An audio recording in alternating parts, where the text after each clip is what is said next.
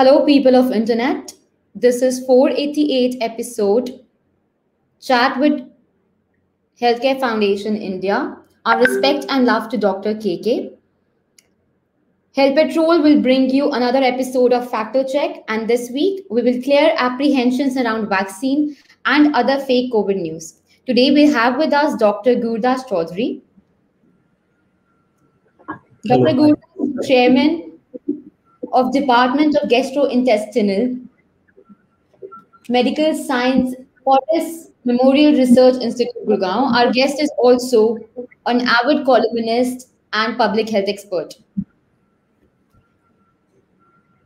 Hi. So, would you like to say something before we start the show?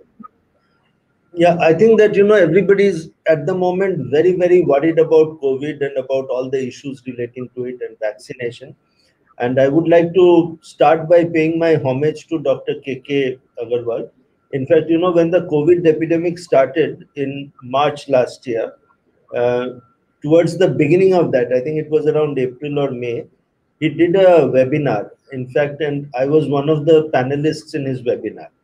And it was a huge webinar. He got together a lot of experts to give their views on how COVID was affecting different organs and I was talking about liver and GI tract.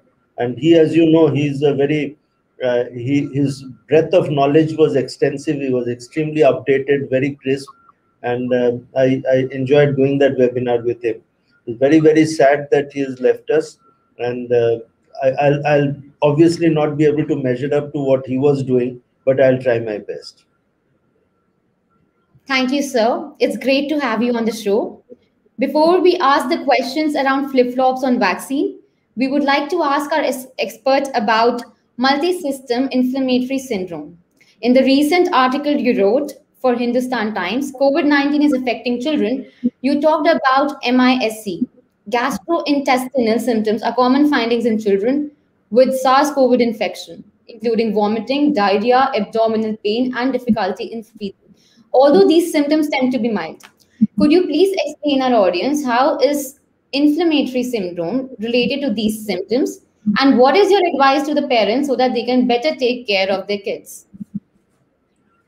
In the first wave of the epidemic, I think it's become very clear all across the world that children were not getting very much affected. You know, I mean, if you look at what was happening, it was mainly the brunt was being uh, felt by the elderly people with comorbidities somehow in the second wave and you know towards the end of the first wave it became apparent that children were also not completely immune to it.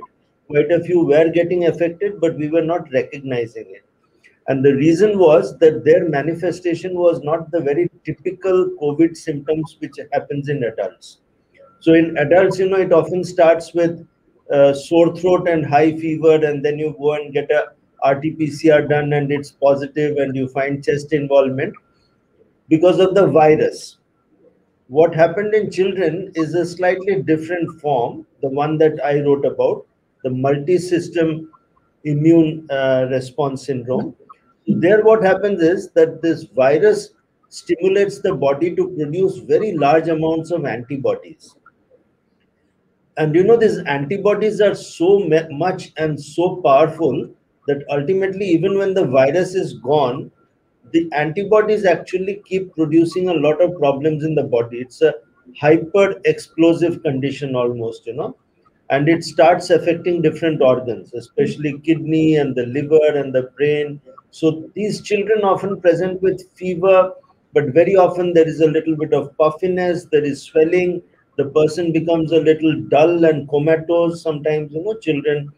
And the typical finding is that the CRP is very high the IgG antibodies are very high. So it's a multi-system involvement due to an excess of antibodies. And I was surprised that, you know, this uh, was recognized in many places, but particularly in India from Mumbai. And the credit goes to a mother. She is the wife of a doctor. So two of her children got affected. And therefore she went to the depths pursued with the doctors, got the diagnosis established. And you know, there is a slightly different way of treating these children, and both her children recovered. And she has been a very active campaigner on the social media. And that's why I thought that it's worthy of disseminating this to so many people who have children. You never know what would happen in the, the second wave has seen children being affected. There is a bit of speculation that the third wave might see even more children being affected. And that's the reason why this particular syndrome needs to be known as well. Quite an interesting fact how large amount of antibodies can also be a point of concern. But the optimism here is that it is treatable. Thank you, yes. sir. Now, second question is drug cocktail, which is mixing different vaccine, was given to former US President Trump. Asian Institute of Gastroenterology treats 40 patients with comorbidities using a drug cocktail monoclonal therapy, which is nothing but mixing different antibodies to fight particular disease. Studies are in progress if it can also fight highly infectious Delta variant. Drug majors Roche India and Cipla have priced the antibody cocktail at 59,715 rupees per dose. Though price seems like a concern, but still, sir, what is your remark on this information? I think that's a very promising area of research. So remember, whenever a new medicine comes, it always comes pricey in the market. But the fact of the matter is, uh, for my audience, I would like them to know uh, Donald Trump was uh, at the peak of his election campaign when he actually contracted COVID. And for those of you who follow the news, uh, it was around the seventh or ninth day that you know he received these cocktails in an army hospital, and you know in seven or nine days he was back on his campaign trail. That was the quickness of the recovery. And you know in the us the the antibody cocktail was being marketed by a company called regeneron. That's why it is actually nowadays called the trump cocktail now this particular antibody cocktail is a bit different from what one might normally think these are monoclonal antibodies and monoclonal antibodies are actually produced in the lab using a different technology so they are not the same as routine antibodies. For example, you know, in between there was this concept of using plasma therapy. Plasma therapy is also antibodies, but taken from people who had recovered. Now, that actually is diluted antibodies and a little widely dispersed antibodies, whereas this cocktail is sharply focused two monoclonal antibodies which are targeting mainly the virus. So it's a very good antiviral therapy. And that's the reason why it's a bit difficult. It has come to India. By the way, Fortis is one of the places where it's being used also, both in Fortis Escorts Heart Institute as well as in our FMRI, that's the Fortis Medical Research Institute in Gurgaon. Uh, there are two or three things that everybody should understand. One is that this particular therapy is useful only if you use it in the very early part of the infection. So it is to be done in the first three to four days of getting COVID. Now you might ask, then why should everybody go and get a 60,000 rupees cocktail intravenous injection every day? Because after all, you know, we know that 90% might recover anyway. So it's specifically kept for people who are elderly and or people who have comorbidities where the chances are that this COVID infection can tumble down and they might actually become severe COVID or they may, might die. Okay. But having that said that, if one really doesn't want to take any chances, and if suppose very early in the stage of the disease you go and get these antibody infusions done, the chances are extremely high that this viral infection will be controlled and it won't actually slide down to a severe disease. So it's already in, in process and it's being done. The second part of your question is a very important question, and I must clarify that. So, what happened with all the medical technology, be it the vaccines or be it the antibody cocktail, they were done using a particular strain of a virus. So that brings me to this question of what are the different strains, you know. So the alpha chain strain, the beta strain, you know, the delta is the one which is the top of the town. So whenever you develop any drugs or antibodies or vaccines, you do it using a particular strain of a virus. And therefore, this Regeneron antibodies or the cocktail antibodies were initially made against the alpha strain, which was prevalent in the United States. So the controversy that is now creeping in is that will it be just as effective for the delta strain or not? It will definitely be effective, but whether it will be effective enough to the tune of 90 95% or not, that is an open question that people are trying to address. It's otherwise a very safe procedure. You know, they don't even admit patients. You can just go and get your injection through the vein, go home, again, go back the next day. So it has to be done on a, you know, they call it the infusion chambers. So you don't have to admit patients. But in India, there is a very special thing that since it's expensive and people who want to avail of insurance, the insurance companies require that you need to be admitted, you know and that's the reason why some people might prefer to be admitted but that's the reason. Otherwise the the therapy itself is not dangerous enough to require admission. So did i get it right that people should not rush to the hospitals to get this antibodies?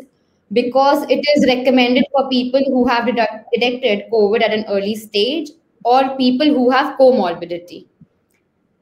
So if i then, might say said, if suppose there is somebody in your family and you know the person is 75 has got hypertension and diabetes has been through a kidney transplant for example and you know everybody is apprehensive that what might happen because if covid comes into that family he would be the most vulnerable person. Am i right? The younger persons will not have it. So if suppose he has an insurance policy or if financially they're well off and they decide that look I might like to take the precaution and give him the antibody cocktail right in the beginning and take no chances and wait for natural recovery. It's one way of looking at it. So, for how long can one evade the virus by taking this cocktail? Oh, so, you know, once the body gets infected with the virus, then, you know, recovery, I mean, you either recover or you don't recover. I mean, there are basically two options, right? Once you recover, then there is a formation of natural antibodies, and that's the reason why it has been found that a second episode of COVID infection is relatively uncommon. So the challenge is to go through the first infection and come out with protective antibodies so that you don't go to a second stage. So from that point of view, it makes sense if you wish to give that a try after all, all the things that were used earlier on, that is the two antivirals, so we had remdesivir and favipiravir, all of them were basically aimed, for that matter, even ivermectin, they were all aimed as antiviral agents, okay? The only problem is that, you know, you must understand that antiviral agents, if you use it too late, when the virus has already caused the damage, then it doesn't seem to show much benefit. So if at all you want to use an antiviral agent, like a monoclonal uh, antibody cocktail, it makes more sense to use it right in the beginning of the illness rather than wait for eight or 10 days and then try it. So, talking about Delta variant, the US Center for uh, Disease Control and Prevention, CDC, has reclassified the Delta variant, first detected in India, as variant of concern due to its high transmissibility. CDC estimates it's accounted for 99% of cases in US as of June 5th. What concerning signal does this piece of information send for India? Can it be a reason for third wave? Uh, so it has certainly been uh, responsible for the second wave in India. That I think most people would agree with, because initially what happened is that it was the alpha variant that time you know it wasn't been called as alpha beta delta. It was being given names according to the part of the world where it originated. So i think everybody is familiar with what is known as the british strain the south african strain and the brazilian strain and the chinese strain and so on and so forth. But now there has been a lot of sensitivity around giving country names to variants okay? So that's why the who in its wisdom recently decided that look let's not take country names but let us give greek names to it so alpha beta gamma delta and so on so that's the way it is Now, the problem is that much of the research part in the world went around in actually Europe, England, and America. And that's the place where basically it was the alpha strain which was predominant.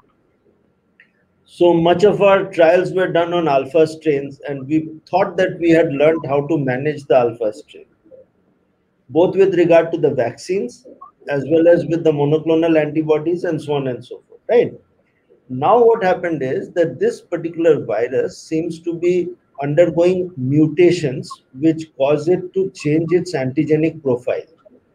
Okay. And why does the virus do it? The virus does it because it wants to escape from what human beings are making by way of drugs or antibodies or vaccines. So it wants to escape, it wants more freedom. Okay. So that's the tussle that we are in at this point in time.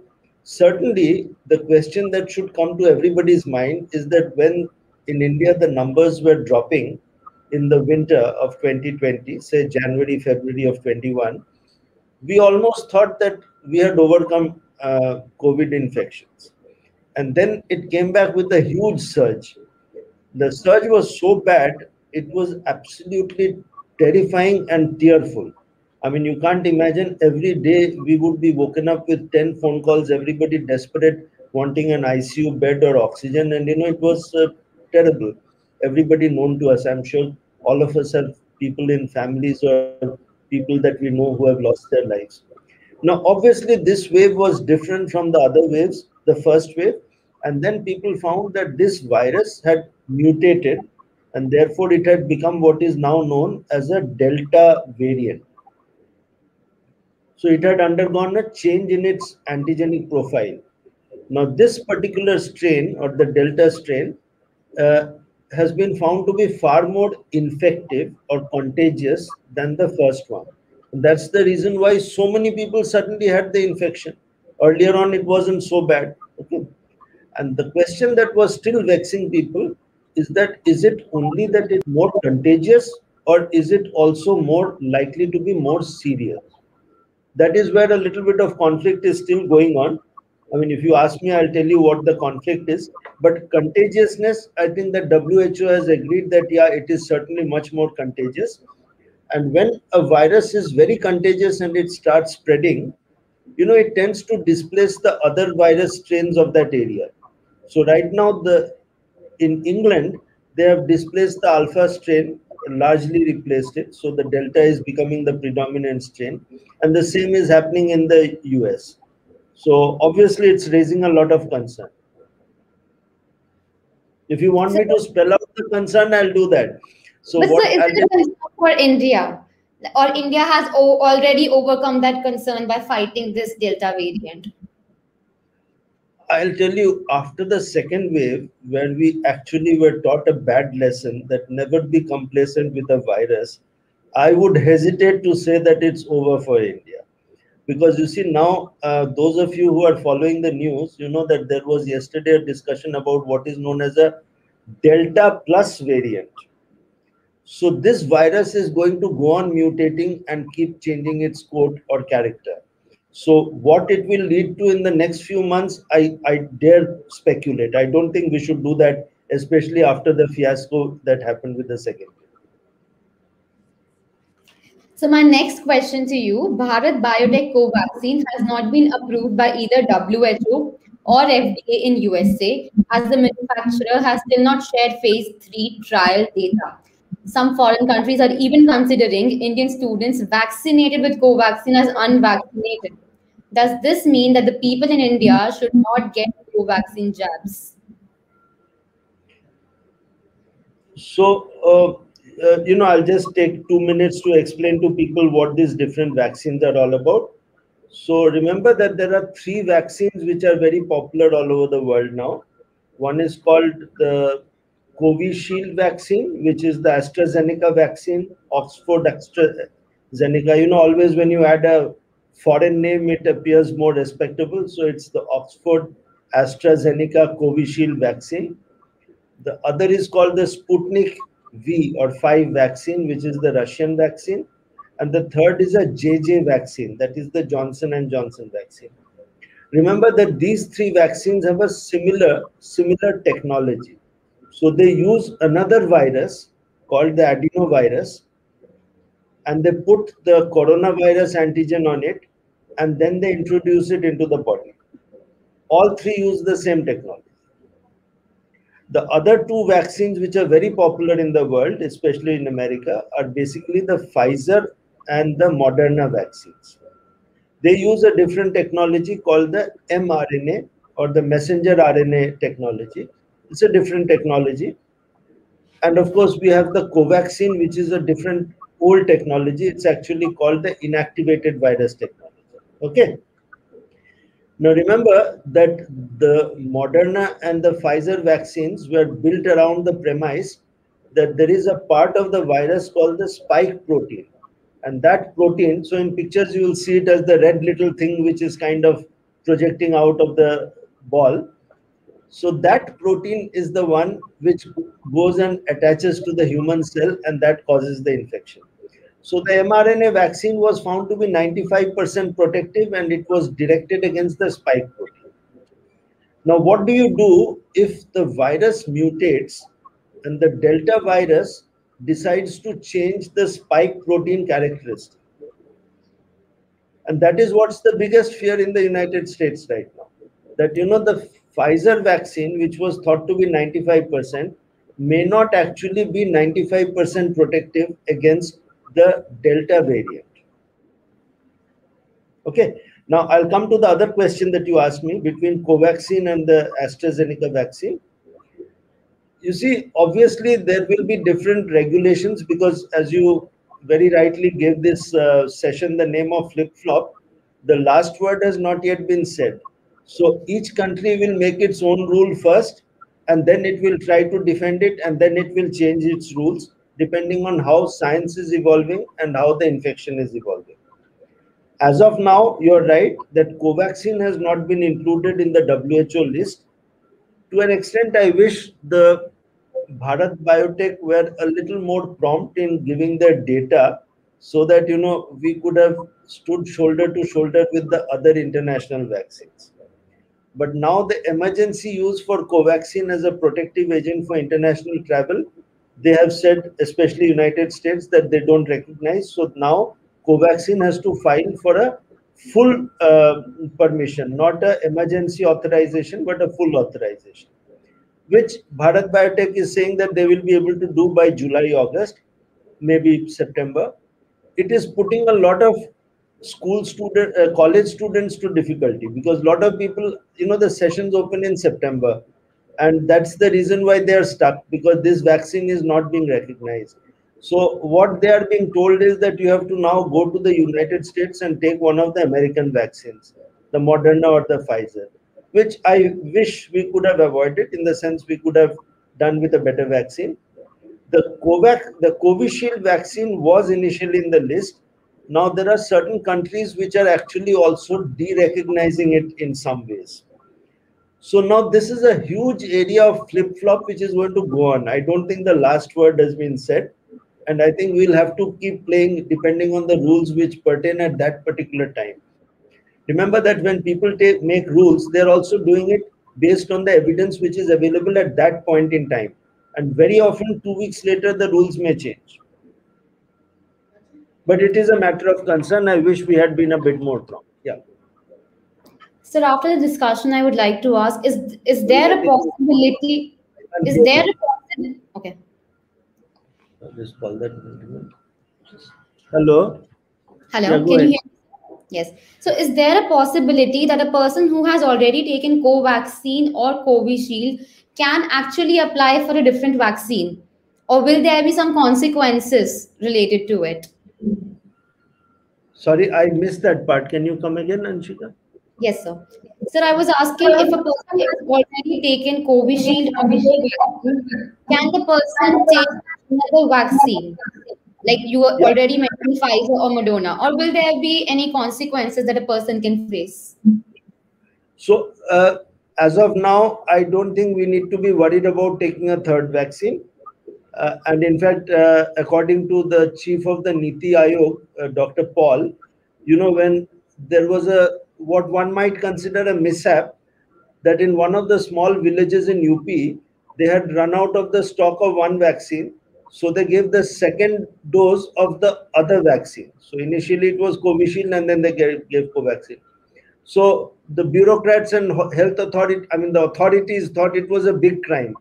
But actually Dr. Paul said that it was inadvertently probably a good thing because you know there is something called a mix and match vaccine. So if you take two types, you're probably improving the immunity better. So I personally think that taking the third vaccine is not a problem health-wise.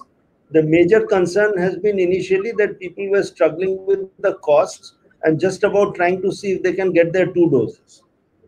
But I think taking a third is not a problem, but the cost will be the problem because the Pfizer and Moderna are more expensive. And so, what about the reactions that one would face after those vaccines?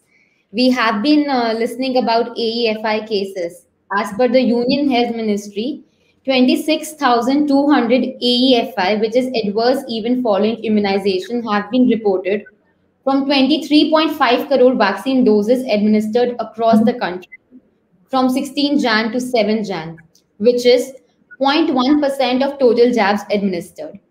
4,230 cases had comorbidities, and a total of 488 deaths were reported after vaccination out of those 26,200 cases, which is 0.01% of the total cases reported. Most of these cases have been found in women and people above 51. The question is twofold. How big is the risk according to you of getting vaccinated? Is it correct to tag all deaths post vaccination to the vaccine itself? Very good question. So let me put it this way. Does this vaccine have any risk? That is, you know, is it completely safe or is it associated with adverse effects? So the answer is that obviously it has adverse effects. So there's no denying the fact that it's it has got a little bit of chances of side effects. Number two, how bad are the side effects in the sense that you know what proportion has it so as you very rightly said, the figure comes to roughly about 0.1% or something. And severe adverse effects and death is actually 0.0002%. Okay, that's the figure. Now, what do you have to compare it against? The comparison is that if one gets COVID infection, okay, then the chances of becoming serious, critical, or dying is close to around 2%. Now, 2% and 0.001% or 2%, it's almost a 100 or a 1000 fold difference. So it's a question of which one would you prefer? Would you rather wait that if you got the infection, you would come out, but remember the risk of dying is 2%, or whether you would take the vaccine, albeit knowing that there can be side effects, and then take the risk and protect yourself? So that's the million dollar question. The other part that you mentioned was about uh, you know why i mentioned about the adenovirus vaccine? You know the covishield and the jj vaccine and the sputnik v. So most of this abnormal clotting which happened because of which six uh, women died in the uk and a few died in uh, europe and you know so on and so forth. And about a few by the way died in us uh, also with the jj vaccine this particular side effect profile was associated with the adenovirus based vaccine. So JJ, Covishield, and Sputnik V. Okay. But even then, I would say that the risk is actually quite small 0.0002%. You know, so if you have no other option, but this is the vaccine available, I would say go ahead and take it. Are the other vaccines totally safe? The idea is no. So let me give you information and data. When Pfizer vaccine started rolling out, and you know they first administered, I mean, one of the places where they administered it was to elderly people in elderly homes. You know, so these were the people of 80s and 90s with Alzheimer's, multiple comorbidities, and so on in an America in an uh, European Scandinavian hospital. 23 people died and you know it was mainly because if they had fever or if they had rigors at night their body's ability to cope was so little that they passed away So they were tottering. But you know, the question is then should you have given it to these elderly people? The other way of looking at it is that they are the ones who are most vulnerable to have COVID and COVID related deaths. So a whole lot of people who died in basically Italy and Spain before it went on to England were actually people in that age group, you know, with comorbidities. So it's a very catch 22 situation. I mean, I personally think there is no ideal vaccine, but yes, if you are caught between the devil and the deep blue sea, it's probably better to take the vaccine and hope for the best and get some degree of protection because the vaccine does give some degree of protection. Our expert Have clearly recommends everyone to take the vaccine because the risk is quite limited. Numbers well projected, sir. But uh, talking about uh, talking about a case, first death was confirmed due to anaphylaxis following COVID vaccination. This news is all over. We would like to ask you what is anaphylaxis? Should it be a point of concern? And who carries a higher risk? So, anaphylaxis is an extreme form of allergic reaction. So, you know, uh, that's the most extreme form. So, you suddenly get a lot of itching. Uh, that you know, so that's what happens. It's called anaphylaxis. Can you hear me? Now we can hear you, sir. Am I audible? No. Yes. Okay, sorry. So that's called anaphylaxis. Now, anaphylaxis can occur with almost any injection. You know, earlier on, it used to happen when we were giving penicillin injections to patients and so on and so forth. So it's a bit unpredictable. It can happen to anybody. And if there is a person who has a history of severe allergic reactions, he's usually advised not to take this vaccine. But that particular person who died, he had that most unfortunate anaphylactic reaction to the vaccine and he succumbed. There are quite a few other side effects which can also occur. So they are basically called adverse effects, you know, serious adverse effects. So they are also dangerous, but this. Am I So let's talk about something positive. Yes, sir, you no. are. Let's talk about something positive. US based no, Novavax has partnered with US based Novavax has partnered with Pune based vaccine manufacturer Serum Institute of India.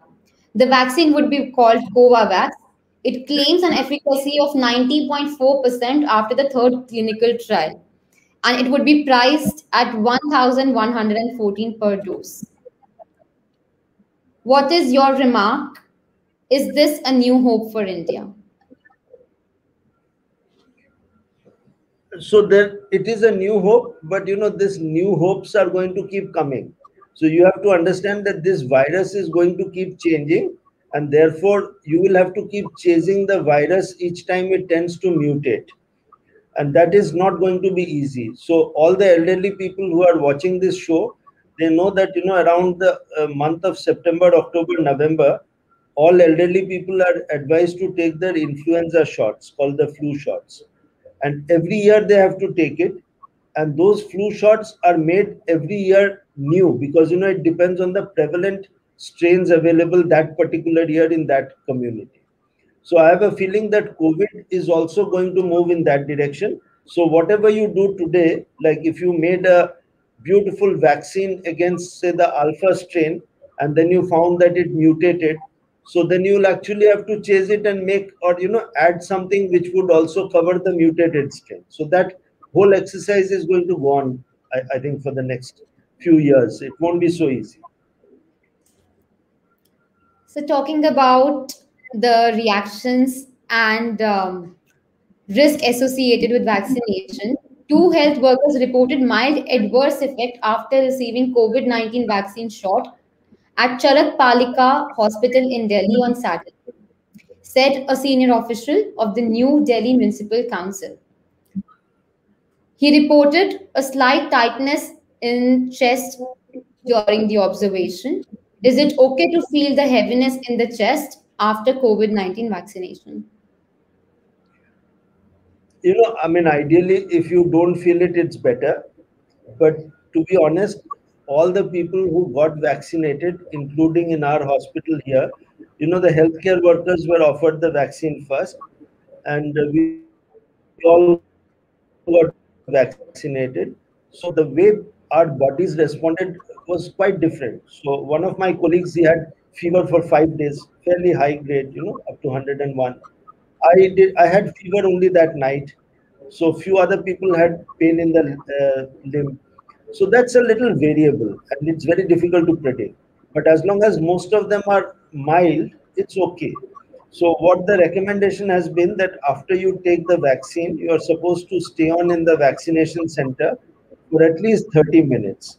And that is to watch for any se severe side effects. You know, like you shouldn't have too much tightness, you shouldn't collapse, the blood pressure shouldn't fall, you shouldn't get hives or urticaria or anaphylaxis. Now that's about the maximum that can be done. Now after that, if you go home and then if you have a problem, uh, it's a little bad luck. But you know what I tell my patients is that usually carry some paracetamol with you.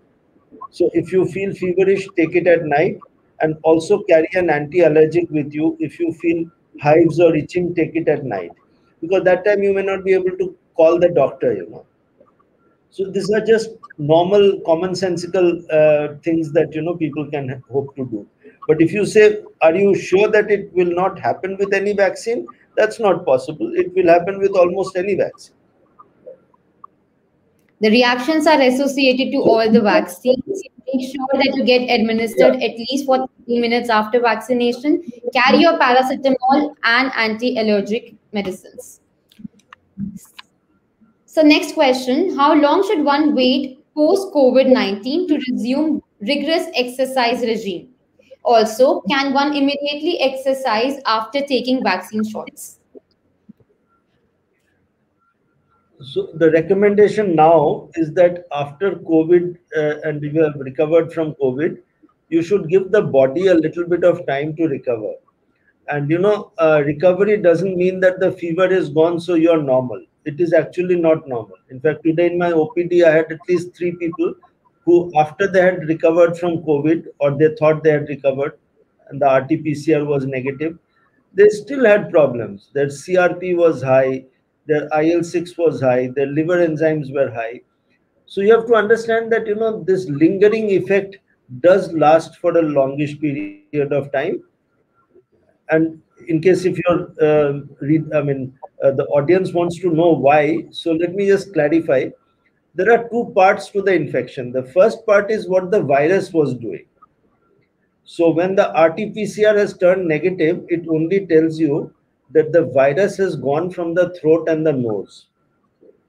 But what the virus did was it actually generated an immune uh, reaction in the body, which is called as a cytokine storm. So a huge outpouring of antibodies and you know the the immune response of the body. Now, that cytokine storm takes time to settle down. And that's the reason why, even after they have recovered from COVID, that's they have become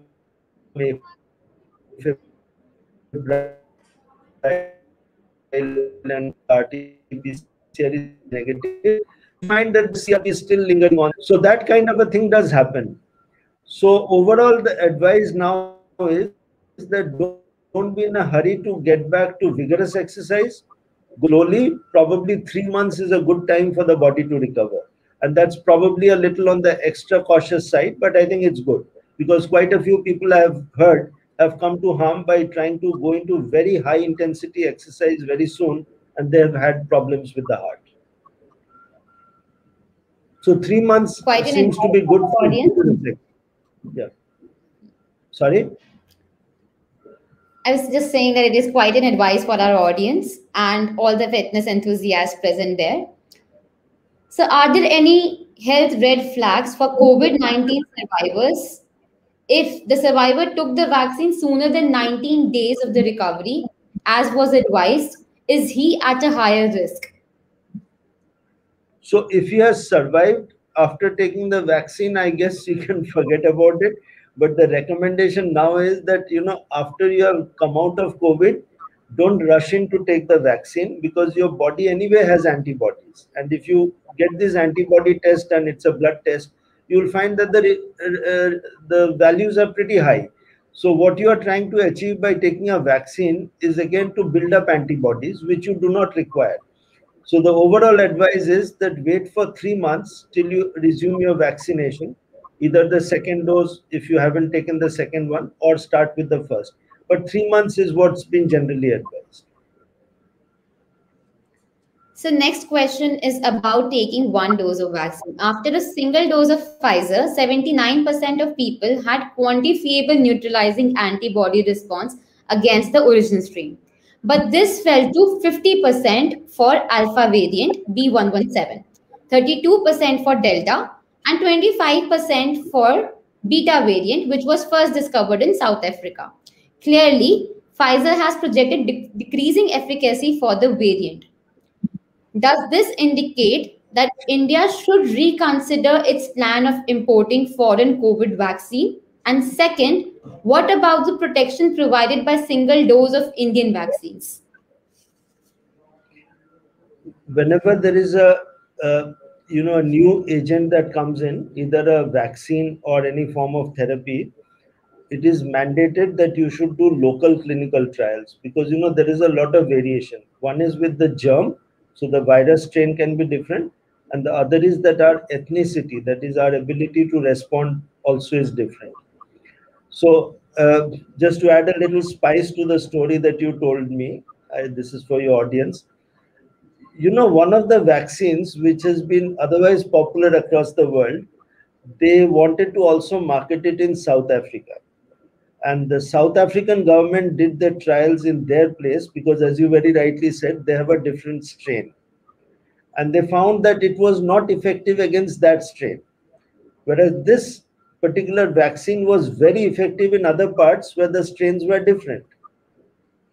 And that's the reason why, when you, you want to offer protection to your people, you can't just go by published data of one vaccine manufactured in one country and tested in that country what you are talking right now about the Pfizer vaccine, yes, it has been a matter of concern for all of us that if it was 95% protective against all strains, then the question of importing it to India would have been only the logistics because you know it requires to be kept at minus 70. But if it is not so effective against the predominant strain in India as of now, or what might happen in the future, then obviously it calls for a recalibration of the strategy. So you have to be all the time monitoring as to what is happening. So our advice to the officials is that they should actually carry out the clinical trials properly and see if the vaccine is best, suited for the Indian people. Am I right, sir?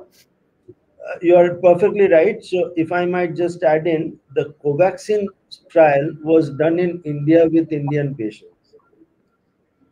Okay, the other trial that was done for Covishield was partly done in India, but the larger part of the trial was actually done in England. At that point, we thought that it's fine because after all, that time the predominant strain was the alpha strain in England and the same strain in northern India. So we thought it would work. But if you now look at the Sputnik vaccine, the Sputnik vaccine has been done against the Russian uh, strain in Russia.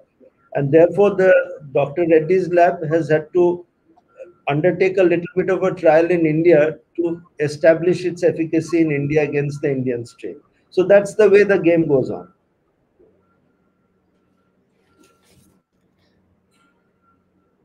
But sir, talking about the gap between two doses of vaccine, Currently, two doses of Covishield are being administered at interval of 12 to 16 weeks.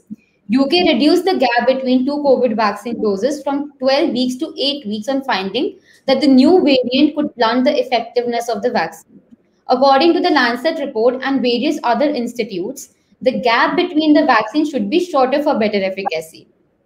According to you, what should be the ideal gap between the two doses of vaccine? Any vaccine or a particular vaccine. So I'll tell you what I meant. So as of now, uh, you know, when we started off, we had only two vaccines. We had Covishield and Covaxin, right? And the initial recommendation that the second dose should be taken about four weeks after the first dose. Right, one month. In fact, that's what we all took, and we took Covishield at that point in time. The confusion came that after a while, they found that in England, the studies showed that if you take the second dose after a longer gap, maybe three months, then you are able to achieve better antibody responses. And that was the reason why, I mean, there must have been many other reasons. The fact is that the vaccine was in short supply, you had to cover as many people as possible, and so on and so forth. But then people felt that, look, I think increasing the gap between the two doses might give you good protection because you will get better antibody responses. Right? and even after one dose you are getting some degree of protection so it is not that you're not getting any protection at all that's the reason why there has been a to and fro uh, change in uh, advisories regarding what should be the timing for the second dose so india also went in that direction and therefore whatever indian government said pertained more to the covishield vaccine rather than the covaxin the covaxin has more or less remained steady that the second dose timing should be four weeks after the first dose. And I think the Sputnik V, the recommendation is now three weeks after the first dose. Okay, but one must understand, and especially the audience here, because I believe your audience is a very learned audience.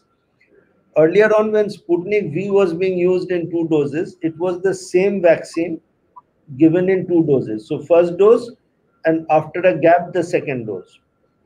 Now, the present Sputnik V has a different vaccine for the first dose and a different vaccine for the second dose.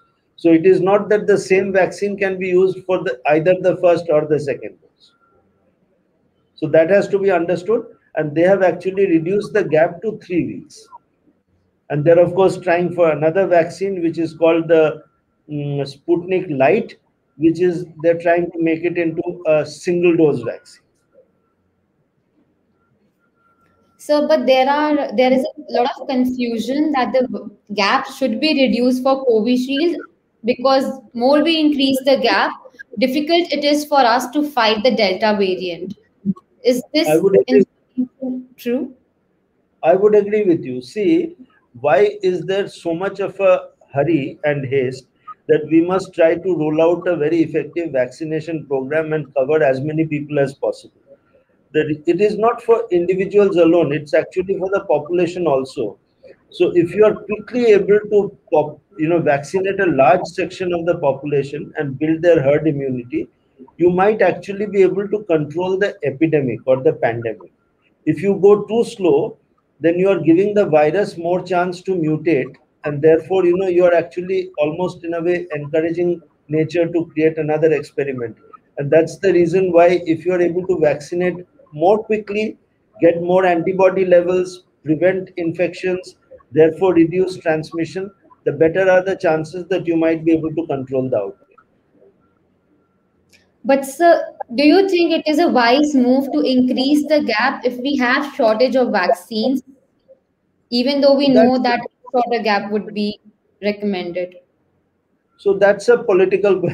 I mean, okay, let me put it this way. So already the government has made an allowance that for people who are traveling overseas, they have said that you can actually take the second jab after four weeks of the first jab, which basically means that they have looked at the safety that the jab, second jab at four weeks is not bad at all. Okay, so from that point of view, it's between the devil and the deep blue sea if you take it after three months, you might get better antibody levels, but you have less protection in that interim period.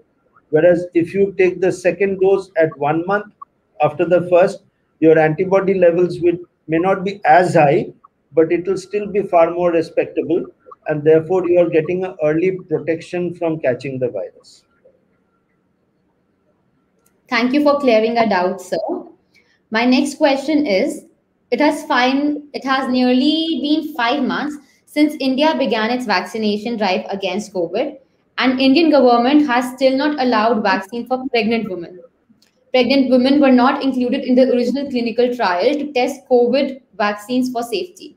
Though the data from around the world shows that vaccines are safe, question is Is it the shortage of vaccine or are Indian COVID vaccines really unsafe for the expecting women?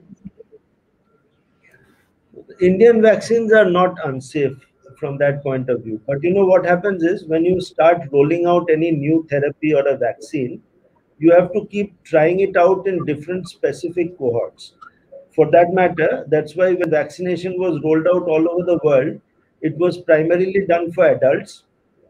First, the 60 plus who were more vulnerable, then it was the adults. And if you saw carefully, children are the last ones to be include, included because you know you don't want any harm to come to children and pregnant women because they are two sections which are considered to be the most vulnerable sections okay. So now uh, as you know the pfizer vaccine trial has started for children above the age of 12 or 13 and you know they'll have to prove that it's effective.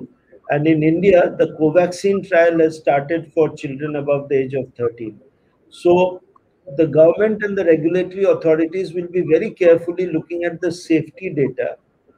And safety is more important here. The safety data before they decide to lower the age for trials and then use it for these two vulnerable sections so one would be children and the other would be pregnant women so i think that's the way the sequence of trying any drug or vaccine normally happens the most vulnerable sections are the ones which are kept last because you first want to establish their safety in other sectors. I'm so sure it's going to come to children and pregnant women. So we just talked about vulnerable section, but I would like to discuss comorbid patients as well because these questions keep coming again and again. Should vaccine be recommended or prescribed to people who have diabetes, who have lung infection, who have asthma, etc.? Answer is, you know, when we say comorbidities, we tend to club everything together. One has to look at it a little carefully. So, people with hypertension, stable hypertension, people with diabetes, stable diabetes, uh, should they be vaccinated? The answer is obviously yes, because if they contract COVID, they are at the highest risk of tumbling down into serious or critical disease and dying. So, they need the protection much more. Age is the other one obesity is the other one okay asthma is certainly an important uh, variable in the sense it's a comorbidity because if an asthmatic catches a chest infection he's obviously at a higher risk of going down okay so these are the people who need the vaccine the most and therefore they are not contraindications contraindications would be the people who have a known history of anaphylaxis so, you know, severe reaction. So always, you know, vaccine is you are giving a protein into the body. And if they have anaphylaxis, it can be a problem. So even then, I would say it's a relative contraindication. One has to do it with a lot of care, make sure that it's not done very easily and you have all the requisite uh, crash board available and so on and so forth.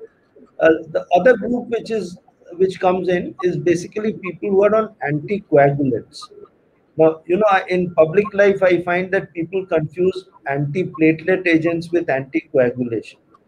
So, a large number of people who have diabetes, hypertension, and who have had a stent put or whatever, they are on these drugs called low dose aspirin or clopidogrel. So, they are called as antiplatelet agents. They should go and take the vaccine. Actually, that is not a contraindication at all the contraindication, if at all, and that's a relative contraindication, it's for people who are on medicines like Acitrom, you know, where the blood is literally made thin and it doesn't clot. And the reason is that if you take an intramuscular jab, it can produce a local blood hematoma, you know, that is a collection of blood there. So even for them, it is not a complete contraindication.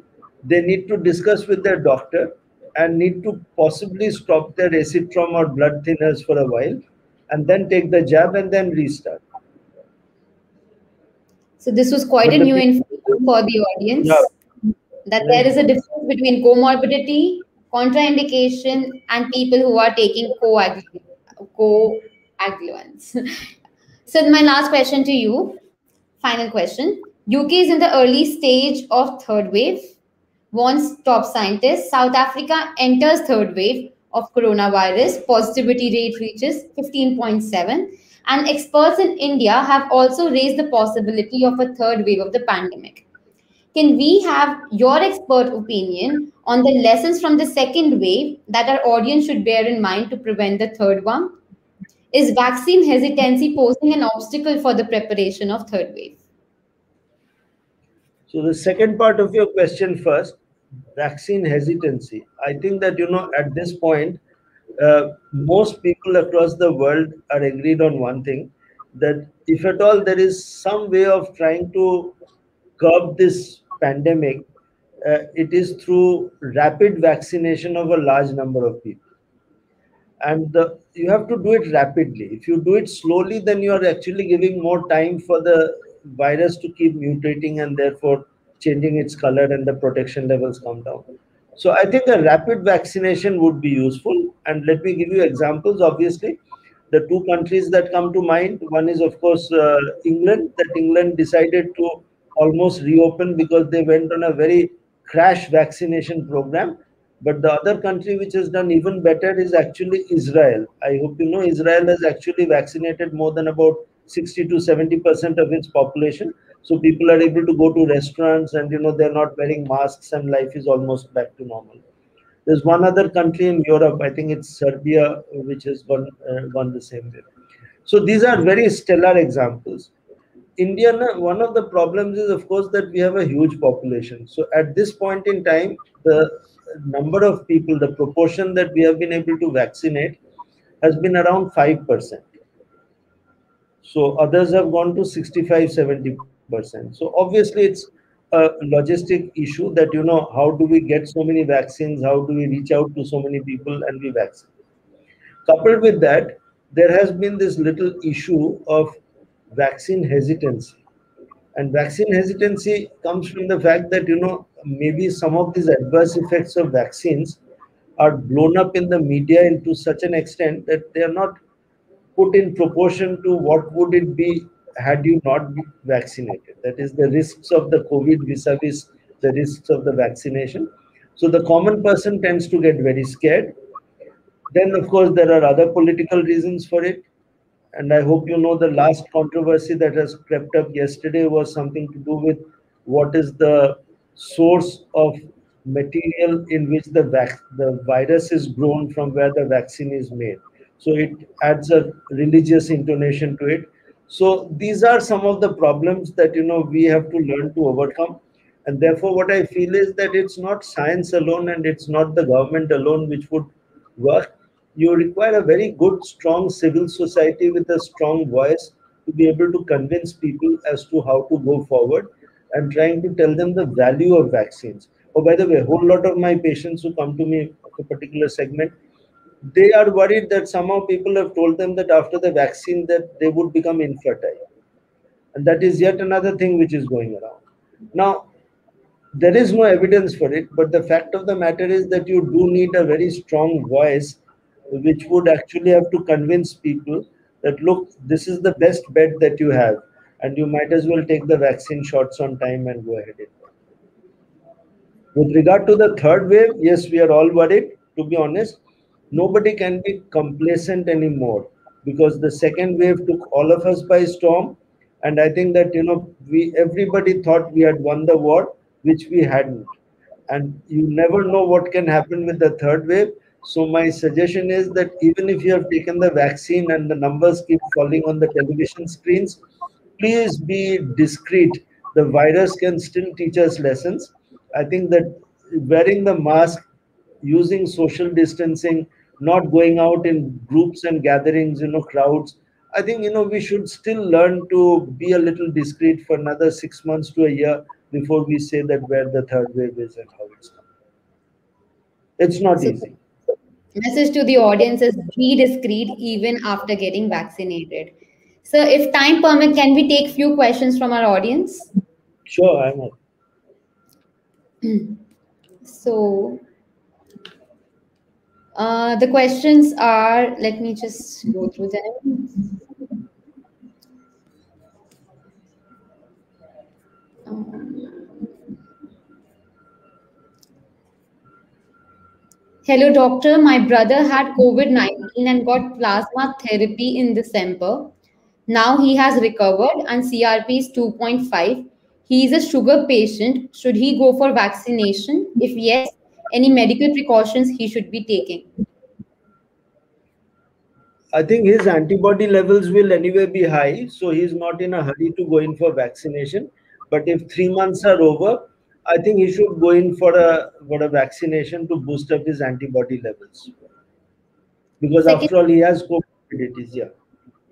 Will the risk of severe COVID nineteen more for celiac patients who are not yet diagnosed of the gluten issue and are not on gluten free diet as compared to celiac patients who are already on GF gluten free diet? Hello. Uh, sorry, the severe patients. No, आवाज नहीं आ रही है. Will the risk of severe COVID-19 more for celiac patients?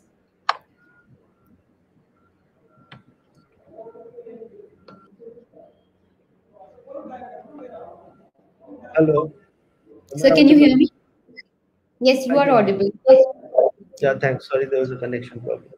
So celiac people are uh, you know, it is one of the comorbidities, but not the frightfully important comorbidity from the point of view of contracting COVID in that sense, unless, you know, he's a completely uncontrolled uh, celiac who is very emaciated and, you know, his energy levels are down and his hemoglobin and iron is uh, terribly down.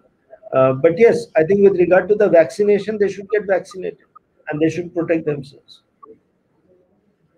So we have another question. What should be the gap or time period for intake of alternate vaccine? For intake of what vaccine? Alternate vaccine. I'm assuming the person wishes to take another vaccine. So what should be the time period between the two? You know, I think it'll uh, we will probably come to that anyway. And the question is that you know, let's wait and see how the thing evolves so when we started, I think uh, in January this year, uh, we were offered, uh, there were only two vaccines. So we had Covishield and Covaxin, and Covaxin was in short supply. Now these are the two. Now we have got a Sputnik 5 vaccine which has come. And now there are two or three other companies which are going to come in. So we are going to have a Zydus vaccine, and then we are going to have probably one of the two messenger RNA vaccines. Now, if you are reasonably well vaccinated, that's you know you have taken your two doses of any of the vaccines and you're not a high risk person. You know, when I say high risk person, I would say that we, for example, healthcare workers, we are at high risk because you know if you look at uh, doctors, there are 730 doctors who have died in the second wave alone this year, and uh, last year there were about a thousand doctors who died in India. And i'm talking about indian figures. So because we come in contact with a lot of people we are at high risk. But i think for all others you are at reasonably the average risk you know. So i think we should wait. And in another 2 to 3 months we will have an array of vaccines. And the options that will be given to us will also play out because as of now there are a lot of restrictions. You have to use your Aadhaar card go and get it done and people will ask you how can you ask for another vaccine? and so on and so forth because it's not a free market vaccination program as of now because it's in short supply and the government is trying to do its best. So it will evolve a policy which we'll all have to abide by. But after a while when things become a little more easily available and then the values of a third vaccine and if so which one and so on evolve a little better or become clearer then things will be better. But it will be difficult for me to speculate at this point. Can a patient with one kidney take vaccine? Yes. My Absolutely. antibodies my antibodies level is 2200 do i need to take vaccine uh, if you have already taken the vaccine maybe one or two doses or whatever and or you have got covid I don't see the frightful hurry to take a vaccine right now. But I hope that there are there's a clarity I need to bring to the audience. There are one is called the COVID antibodies. And then there is another type of test which is called a neutralizing antibody. So, you know, the neutralizing antibody is the one which gives you protection. So, it would be good if you have any doubts or if you're a healthcare worker or a high risk individual to make sure that your neutralizing antibodies are adequate. I am having sore throat from morning, nothing else. Can I have vaccine in the evening? Uh, two questions for you. One is Have you had COVID in the past? If you had, then this is probably the weather and you can. If you haven't had COVID and you're having sore throat, I would advise hold on, get a COVID test done, or let's see how you be, feel tomorrow and then take a call. The reason is a lot of people na, they have gone in for the vaccine when they have had early symptoms of covid and then they have developed covid say on day 5 or so and then they have blamed it on the vaccine telling that you know i got covid after the vaccine so that's actually a confusion another question my grandma was not vaccinated before getting infection post covid we did blood test crp was 13 hemoglobin 10 we are not sure if we should now vaccinate post infection in this condition? Ask them to get the COVID antibodies done. And if suppose they are high, I would say that, you know, if she is very old and frail, you can hold on. But at least after three to four months, giving a safe vaccine may be a good idea. Thank you so much, sir, for taking the questions of our audience. What would be your final message in one statement to our public? the message is that you know there is nothing very certain about covid as of now we are all going through a phase of uncertainty both on the medical front the social front and every other front so therefore whatever i say today i may be proved wrong tomorrow. But remember that you know this is an evolving time. Keep your antenna up. Keep listening to what is happening. Observe what is happening in the world. And you know this virus is going to teach us many more lessons before it finally fades. It's not going to be an easy war thank you so much sir. It was lovely to have you on the show. I hope our audience is as enthralled as i am